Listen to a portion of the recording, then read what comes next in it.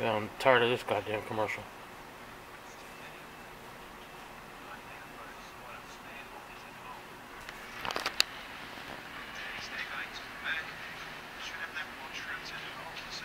It's okay to fast forward.